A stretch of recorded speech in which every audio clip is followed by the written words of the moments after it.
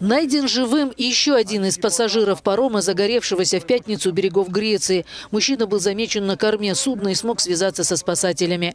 Пропавшими без вести остаются 11 человек. Среди них водители грузовиков из Болгарии, Греции, Турции и Литвы.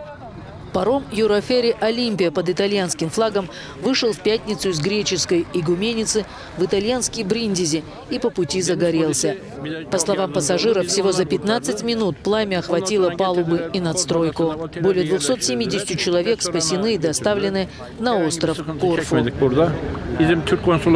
Нам очень помогла итальянская береговая охрана. Они довезли нас до Корфу, доставили в отель. Также нам очень помогли сотрудники нашего посольства, посольства Турции. Мы очень благодарны и им, и итальянцам.